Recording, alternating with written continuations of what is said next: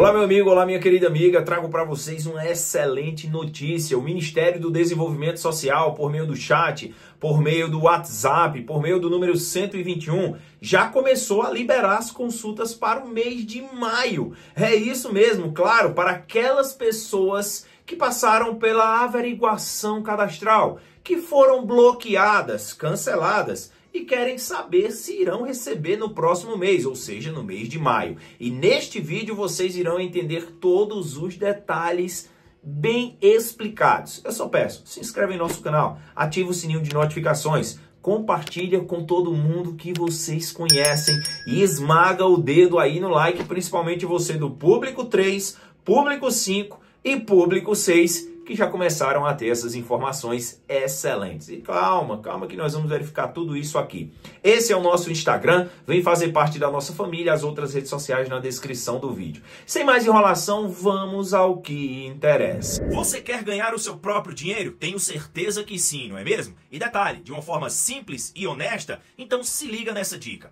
A inteligência artificial já é uma realidade, certo? Ou você a domina ou pode ficar para trás ou pior ainda, desempregado. Se você quer se preparar antes que seja tarde demais, clique no link na descrição deste vídeo ou no comentário fixado que está aqui abaixo para descobrir um passo a passo simples que basta copiar e colar a estratégia garantida que eu e mais de 3 mil pessoas já estamos usando para faturar 100, 200, 300, 400 reais por dia ou até mais, hein? A depender da sua dedicação. Já são muitos depoimentos de sucesso e o próximo, claro que pode ser o seu. Eu mesmo melhorei muito minha situação financeira depois que dominei esse método e eu sempre trago aqui para vocês. E se você deseja ter o seu próprio dinheiro e não depender de ninguém, apenas de você mesmo, meu amigo e minha querida amiga, clica no link aqui abaixo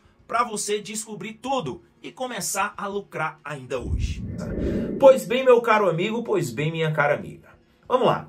Vocês passaram aí desde janeiro até agora, o mês de abril, por averiguação cadastral, principalmente aqueles unipessoais do público 5 e do público 6, e também aquelas pessoas que fazem parte do público 3, que neste caso vocês beneficiários do Bolsa Família que receberam a mensagem do público 3 teriam que ter uma visita de um funcionário do CRAS na sua residência. Quem nos acompanha já sabe muito bem disso. Agora, você do público 5 e você do público 6, vocês poderiam ir lá do CRAS, lá da próxima à sua casa, para fazer essa atualização do seu Bolsa Família, do seu cadastro lá diretamente no CRAS. Agora, presta atenção.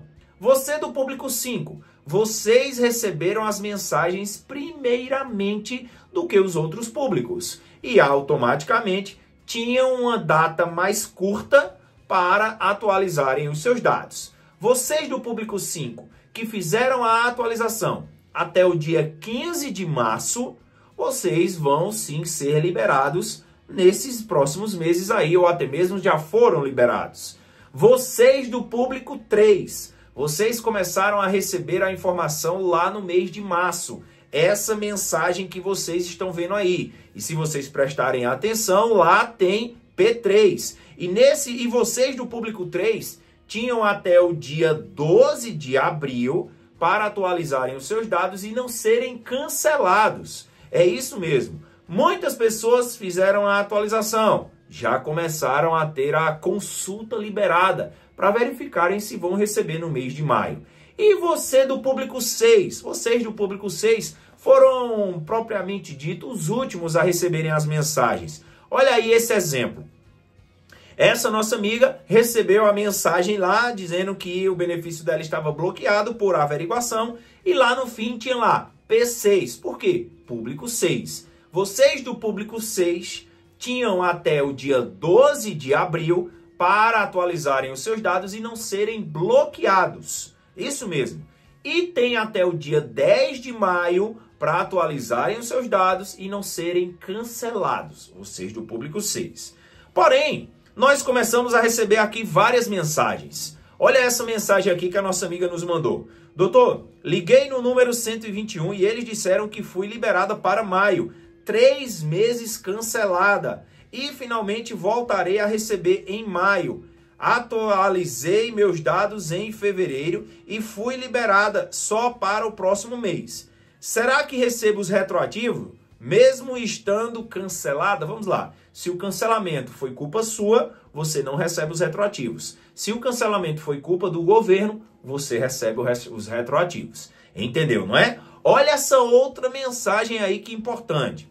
Jefinho, obrigada por tudo. Entrei em contato agora com o MDS no Zap e diz que vou receber próximo mês. Recebi a visita dia 12 de abril, no limite, depois de muitas reclamações no CRAS e falar até com o prefeito. Aí eles vieram aqui em casa. E agora olhei e estarei liberado para maio. Esse dinheiro é uma benção. Obrigada. Então vamos lá, presta atenção. Ela mandou aqui a foto pra gente. Olha aí. Olha o que diz a conversa dela lá com o MDS.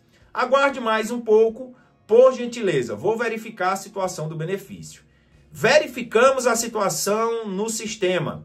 O benefício do programa Bolsa Família, na presente data, consta em situação de liberado para 5 de 2024. Aí botou até entre parênteses, maio de 2024. O benefício está liberado, indica que o benefício está disponível e a família pode sacar a partir do dia 21 do 5, de acordo com o calendário de pagamentos do Bolsa Família.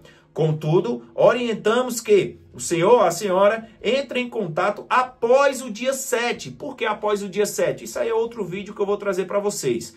Porque dia 5 e dia 6 teremos o fechamento da folha de pagamentos lá do mês de maio, certo? E eles explicam aí a data de processamento da folha de pagamentos do Bolsa Família para verificar se o benefício está disponível. O senhor ou a senhora deseja alguma, alguma outra informação? E ela colocou não, muito obrigada. Então, essa nossa amiga, o caso dela é bem é, complexo. Ela é do público 3. Estava indo lá no CRAS e o funcionário do CRAS dizia assim a ela: Olha, você tem que aguardar a visita. E ela nada de conseguir de vir essa visita na casa dela. E ela entrou em contato conosco. Eu disse a ela: olha, já que a prefeitura não está indo na tua casa, já que o CRAS não está indo na tua casa, reclama lá na prefeitura, conversa com o vereador, vai conversar com o prefeito. E vocês sabem que eu sempre falo isso, não é mesmo? E ela foi mesmo, conversou com o prefeito, explicou toda a situação, mostrou meu vídeo para o prefeito. O prefeito, na mesma hora, ligou para o secretário de Serviços Sociais do município e o secretário ordenou que um funcionário do CRAS fosse lá na casa dela e fizesse a atualização. E isso aconteceu. E ela acabou ligando, ela fez a atualização, recebeu a visita do CRAS lá no dia 12. Dia 12 deste mês de abril, nos 45 do segundo tempo, não é? E teve o seu benefício liberado para o próximo mês. Tá vendo aí que dá certo? Agora, pessoal, olha essa outra amiga que nós acabamos de conversar, a nossa amiga Ana Paula. Olha aí o que ela mandou pra gente. Doutor Jefferson, bom dia. Aí mandou, estava assim no Bolsa Família mês de março e mês de abril. Aí mandou a foto lá, benefício bloqueado, público 3. E ela disse também aqui, ó, recebi a visita no dia 15 do 4. Olha aí, dia 15 do 4 depois da data prevista. É, pessoal, ela recebeu a visita depois da data prevista. E hoje o meu benefício encontra-se assim, liberado. Olha aí, meu caro amigo e minha cara amiga. Essa nossa amiga Ana Paula recebeu a visita do funcionário do CRAS, ela era público 3. Tinha até o dia 12 para receber a visita. Ela recebeu no dia 15 e teve sim ali a liberação do seu Bolsa Família. E o dela já foi liberado, diferente dos outros, que não foram liberados, só estarão liberados para o mês, né, no mês de maio. E ela já consta o dela liberado, não é? E ela já vai poder receber os valores retroativos. Eu já conversei com ela, disse: olha, vai lá na agência da Caixa que você consegue sacar esses valores dos meses anteriores que você não recebeu. Olha aí que coisa ótima. Então, meu amigo, você tem que verificar sempre. Tem que verificar sempre. Se vocês são do público 3 e a, a prefeitura ainda não foi na sua casa, vá conversar com o vereador, converse com o prefeito, porque o CRAS é subordinado à prefeitura e eles têm que fazer o papel deles. Não é se é para visitar a sua casa que eles vão lá na sua casa fazer essa visita, tá? É só ir lá fazer a visita. Se eles não quiserem ir, eles fazem a atualização lá mesmo. OK? Então, você do público 5 tinha até o dia 15 de março para fazer essa atualização. Infelizmente, se não fez, vai ser cancelado e vai demorar a entrar no Bolsa Família novamente. Vocês do público 3 tinham até o dia 12 para receber a visita do funcionário do CRAS, mas nós vimos aí a nossa amiga que recebeu a visita dia 15 e já está lá liberado. Então pode ter aí uma coisa a mais para beneficiar vocês. E vocês do público 6, que são unipessoais, também podem já realizar a consulta, vocês que estavam bloqueados, para verificar se vão receber lá no mês de maio sem nenhum problema. Agora, pessoal, essa primeira consulta é para aquelas pessoas que estavam bloqueadas e canceladas. Podem fazer a consulta lá no chat do Ministério do Desenvolvimento Social, lá no 0800 também, e também no número do, do WhatsApp aí do MDS, ok? Tranquilo? Agora, muitas pessoas estão dizendo o seguinte, Jefferson, eu não estou bloqueado, não estou cancelado eu recebi o meu Bolsa Família este mês de abril. Porém, eu fui olhar, apareceu essa mensagem de bloqueado, não estou entendendo. Pessoal, essa mensagem, se você recebeu ela depois que você recebeu o dinheiro, fica tranquilo, porque olha o que ela diz.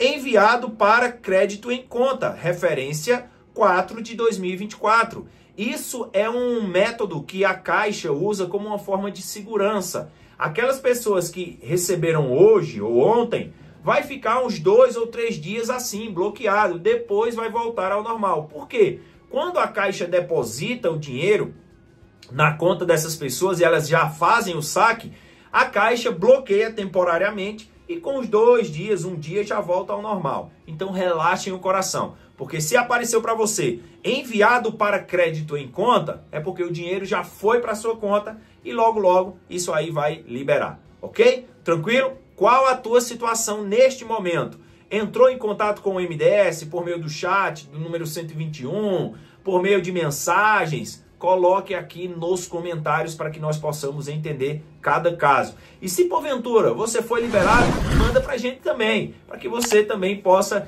trazer essa informação a outras pessoas. Um beijo para quem quer, um abraço para quem não quer, se inscreve no nosso canal. Valeu, falou, fui!